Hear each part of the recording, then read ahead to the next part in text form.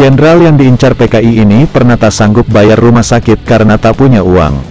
Siapa jenderal yang diincar G30 SPKI dan pernah tak sanggup bayar rumah sakit ini? Dia tak lain adalah Jenderal Abdul Haris Nasution.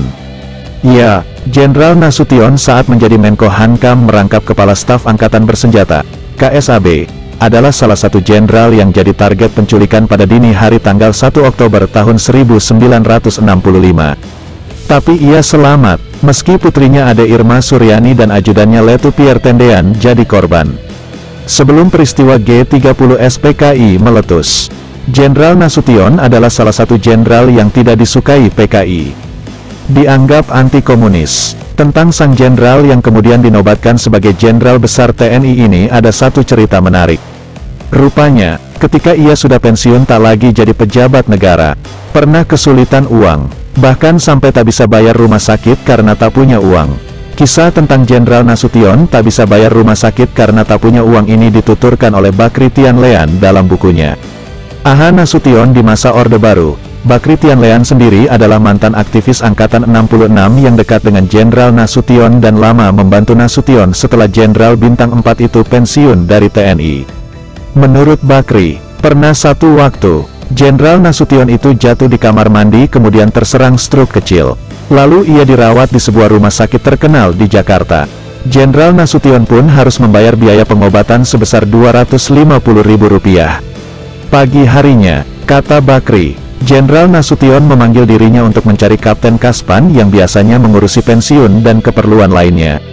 Kepada dirinya, Jenderal Nasution berkata, Beritahu Kapten Kaspan untuk mengurus askes saya karena saya tidak mampu lagi untuk membayar rumah sakit, begitu kata Jenderal Nasution. Mendengar itu, Bakri terharu dan tak terasa air matanya menitik. Ia tak habis pikir orang yang begitu besar jasanya kepada bangsa ini sampai tak bisa membayar biaya rumah sakit.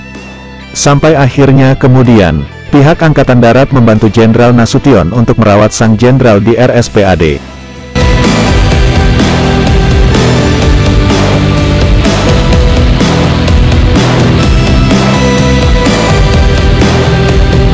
Tapi memang, menurut Bakri, Nasution adalah salah satu jenderal yang hidupnya sederhana. Ia bukan tokoh yang gampang menerima pemberian atau hadiah dari orang. Meski misalnya orang yang memberi hadiah itu tak pamri apa-apa hanya tergerak untuk membantu sang jenderal. Tentang ini, pernah satu waktu ada seorang kenalan dekatnya secara diam-diam memberikan sebuah kendaraan. Kenalannya itu hanya kasihan karena tahu Jenderal Nasution ini tidak memiliki kendaraan pribadi. Namun, ketika Jenderal Nasution menaiki mobil itu, ia merasa ini bukan mobilnya. Ia pun bertanya, mobil siapa ini dan untuk apa?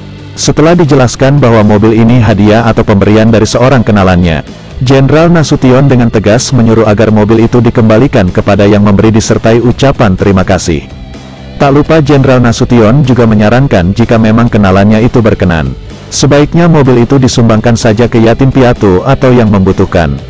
Meski hidup sederhana, Jenderal Nasution juga tak segan untuk mengulurkan tangan membantu. Kata Bakri dalam bukunya, pernah satu waktu ada orang yang dikenal sang jenderal hendak pulang kampung karena ada urusan mendadak. Tapi tak punya uang untuk ongkos pulang. Maka orang itu menghadap ke Nasution untuk meminjam uang. Mendengar permintaan orang itu, Jenderal Nasution berkata, saya tidak punya uang untuk mengongkosi kamu. Ambillah arloji saya ini, dan jual untuk ongkos pulang. Begitulah kemurahan hati sang jenderal besar tersebut. Bakri juga bercerita, di saat turunnya SK pensiun, ada upaya dari pihak Angkatan Darat untuk membantu Jenderal Nasution. Saat itu yang jadi Kepala Staf Angkatan Darat, Kasat, adalah Jenderal Umar Wirahadikusumah bekas anak buahnya sekaligus mantan ajudannya ketika Nasution jadi Panglima Siliwangi. Namun bantuan dana dari Angkatan Darat itu ditolaknya. Ia justru menyarankan kepada Jenderal Umar, agar dana itu sebaiknya digunakan untuk membangun asrama-asrama prajurit yang masih memerlukan perbaikan. Jenderal Umar Wirahadikusuma sebagai orang yang pernah jadi ajudan Nasution sudah paham akan sikap mantan atasannya itu. Kisah lainnya, saat Nasution tak lagi jadi pejabat negara, maka ia pun segera mengembalikan semua kendaraan dinas yang digunakannya semasa berdinas. Semuanya dikembalikan kepada instansi yang bersangkutan. Nasution berpendapat, semua itu adalah milik negara, dan harus dikembalikan. Setelah itu ia menggunakan kendaraan berupa mobil pinjaman dari adik iparnya. Bob Gondokusumo,